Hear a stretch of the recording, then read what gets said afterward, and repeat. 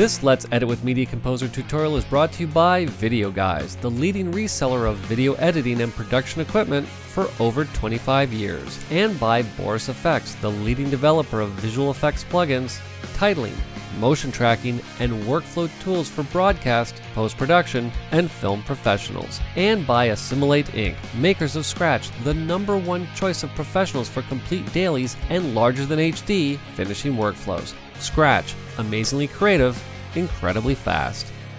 Hey everyone, Kevin P. McAuliffe here, and I am back again with another Let's Edit with Avid Media Composer tutorial. And in this lesson, we're wrapping up our look at Dailies workflows by talking about the workflow inside of Adobe's Media Encoder. Now, this is an application that most editors probably have on their system.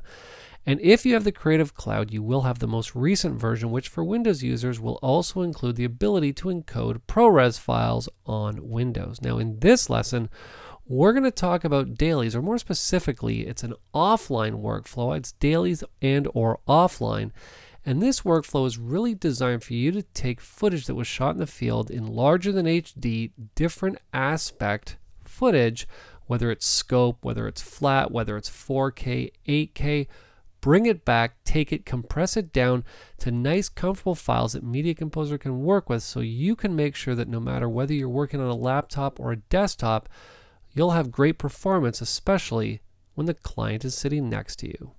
All right, so before we get rolling, we do need some clips or at least a clip to work with. This clip I downloaded from the ARRI website, and this is the exact situation that we would be talking about. They've gone out, they've shot some footage in the field, in this case in scope aspect ratio 2048 by 858, and we're going to need to take this file, we're going to need to shrink it down to 1920 by 1080 in an offline resolution for us to bring in and work with. Now, whether it's an offline resolution or an online resolution, that's really up to you. The process is going to work more or less the same. But since we're talking about a quote unquote dailies or an offline workflow, this is the process that we would go through. So I'm just going to Command or Alt and tab into Adobe Media Encoder. Now, what's important to keep in mind is all the techniques I'm going to show you work exactly the same whether you are on Mac or on Windows. So the first thing we're going to do is take the clip, drag it, and drop it into our queue. And you'll see that I just get the default preset dropped onto the clip. So what we're going to do is we're going to set this up for a DNX HD 36 offline situation. Keep in mind you can substitute in resolutions, uh, frame sizes, etc., etc. as you go. However, it's absolutely imperative you keep the frame rate the way that it is. So if you are going to attempt to link back to it inside of Media Composer, that you do not run into any issues. All right, so let's get in, let's create a setting and then save a preset out of it. So what we're gonna do is we're simply gonna click on where it says match source, rewrap. We're gonna let it open the export settings window and we are going to be dealing with QuickTime right here.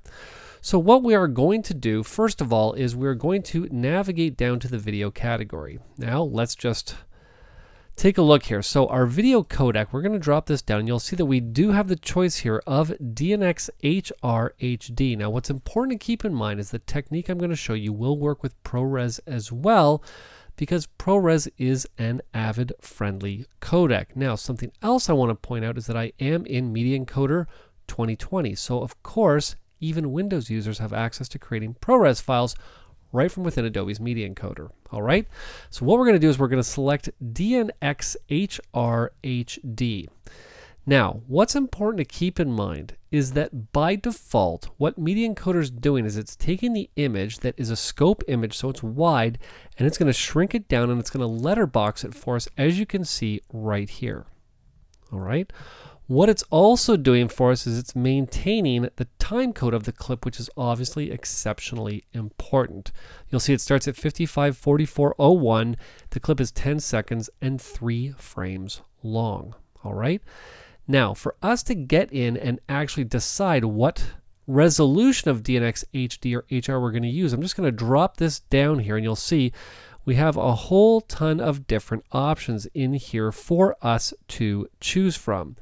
Now, what we're going to do is we're going to navigate all the way down here. And if you notice as we go through, here's the 1080i versions of the codec. There's the 1080p versions of the codec and even the larger than HD or These are custom frame size resolutions as well, even 720p up here at the top. So what we're going to do is we're going to navigate all the way down here to 1080p DNX HD LB 8-bit. All right, I'm going to select that resolution. What I'm going to do here is I'm just going to scroll down, just double check 1920 by 1080, which is what we want. 23976. Now what's important here is that I want to make sure that we are matching the frame rate of the clip that's coming in. Obviously, 1920 by 1080, we want to make sure that that is set as the resolution that we want specifically for this codec. And last but certainly not least, we will set the field order as none and the aspect as whatever the aspect ratio of the clip is, which will be square pixels. Now, if the clip does have audio, which we're just going to assume that everything that we're going to be passing through Media Encoder has audio, what we're going to do is we're going to jump back to the Audio tab I'm going to come down here and make sure that we are dealing with 48 kilohertz, 16-bit stereo audio. Now, obviously, if you need to get in here, make some adjustments, feel free to tweak and adjust as you go.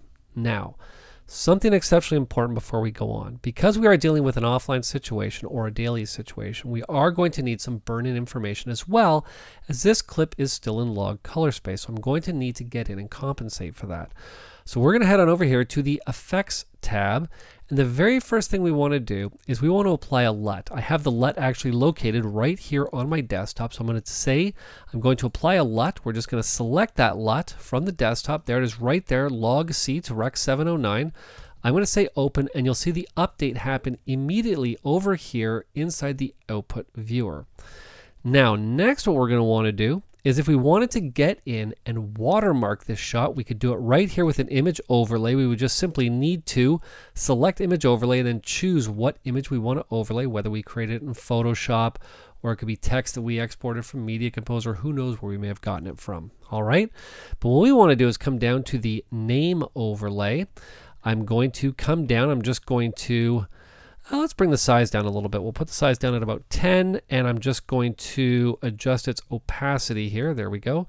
And you'll see that what we can even do if we want is put it up here in the letterbox. So let's just do that. I'm just going to place it over here on the left hand side. I'm just going to copy that value. Let's scroll down to our timecode overlay because again, exactly the same thing that we just did. Now timecode's a little bit more important to have a little bit bigger However, we are going to offset it over at the same location. However, we're going to take it south and stick it down here in the letterbox. All right. So we are pretty much now all set to go. But what we do want to do is make sure that we get in and save this as a preset.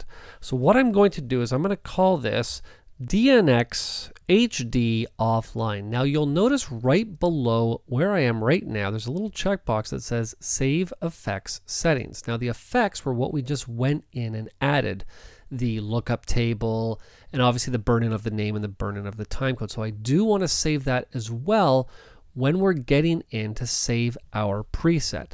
So all I'm going to do is simply say OK, and you'll see now that we have a preset up here called, appropriately enough, DNXHD offline. I could say OK, you'll see that preset has been added. I'm just going to switch out to a different preset here because that preset has also been added right here as well. I'm just going to take it, drag it and drop it onto the clip. Now, before we move on, I do want to mention something that's very important. If you're working in an offline online situation, what you're going to want to make sure of is that all of your high-res media is in one folder. We'll just call it folder A. And it's going to have its own folder hierarchy with all of the files in there named whatever they're named. As far as the offline files go, you're going to want to create a folder. We'll just call it folder A offline. And inside that folder, we'll have the exact same folder hierarchy and folder naming convention that you had in the high-res folder. So basically, it's almost like they're exactly the same folder. The only difference is one contains high-res media, one contains offline media, but both the folder hierarchy and the file names are going to match each other. Now, because in this lesson I'm only dealing with one file, I'm just going to rename that one file to be something simple for the purposes of bringing it into the Avid. All right, now because we are sending this file back to the desktop, like I just mentioned, and the file does have the same file name as the master, we're just going to change it for the purposes of this lesson, and I'm just going to call it offline. Now what I want to show you when I render this out here is that when it is done, I'm just going to hide out of Media Encoder. And what we're going to do is we're going to right click on this clip and I'm just going to open it with Media Info. There we go. Now, once Media Info opens, what I want to show you in here, we'll just give it a second, there we go, is that this clip is actually, let me just move that out of the way, DNX HD LB, or more appropriately and more commonly referred to as DNX HD 36. Now, with that being said, I'm just going to come back into Media Encoder for one second. I'm just going to reset the status of this because what I want to show you in here is that if I come back to video and we come back to the resolution, that's DNX HD 36. What's important to keep in mind is that when talking about 1080p, this will be DNxHD 115, 175, and 175 10-bit. All right, so keep that in mind when you're working. Now, obviously, I can't remember them all off the top of my head. If you're talking about 1080i, this would be DNX HD 145. Actually, that would be DNX HD 220 and 145, I believe. Again, don't quote me. To be honest, I've it's been a while since I've had to jump in and remember all these new, uh, you know, HQ, SQ, but you understand how it's going to work. All right, so what I'm going to do now is I'm just going to cancel out of this and keep in mind we could now get in, set up watch folders if we're going to be dumping a ton of media in here. Now what we're ready to do is to jump back into Media Composer and let's take a look at how we're going to quickly get this footage in. All right, so let's Command or Alt and Tab into Avid Media Composer. And once we're here, you might be thinking that we're simply going to come to input and we're going to import media, but we're not going to do that. Now, why am I not going to do that? Well, what's important to keep in mind is that we can now relink across frame rates. So I can bring in different frame rates into this project that is 1080p 23976, work with them, relink to the original media for our online if necessary. So let's close our settings. I'm going to right click, I'm going to come to the source browser. Inside the source browser, I'm going to come to the desktop and I'm going to grab that offline file that you'll see, much smaller than the original file. I'm simply going to link to it once I've linked to it, you'll see there's the clip there with the burn-in timecode that we want, with the burn-in name as well. And all I'm now going to do is simply right click. I'm going to come down to consolidate transcode. We're not transcoding because this is Avid friendly media. We're simply going to consolidate, which will do a rewrap of our footage going to the media drive. And once I say consolidate, I get my favorite error, which is, oh, don't, guess what? This is loaded into the monitor. I'll be honest with you. I've never ever had any issues with the clip being in the monitor and me saying continue. And you'll see that in a matter of seconds, this clip is now in my project. I can now simply take it, drop it into any timeline that I happen to be working in, and we're all set to go to start working on our edit. All right, now as we're wrapping up, I want to remind you to check out our sponsors, Video Guys, for all of your Avid software and hardware, as well as thousands of other products that you can check out over at videoguys.com. And I also want to give a big shout out to the team at Boris FX, makers of Continuum, Sapphire, and Mocha. And don't forget to use that coupon code of MC101 to get 10% off your next Continuum purchase. And I want to round out this lesson by letting you know that the awesome team at Assimilate has given you a coupon code for 10% off a Scratch, Scratch VR, or Play Pro annual licenses using the coupon code of KPM Deal for you. If you like this tutorial, don't forget to hit that subscribe button. And don't forget, if you have any questions, you have any comments, or you have any tutorial requests, don't hesitate to send them to me at kevinpmcauliffe at gmail.com. This has been Kevin P. McAuliffe. Thanks a lot for watching.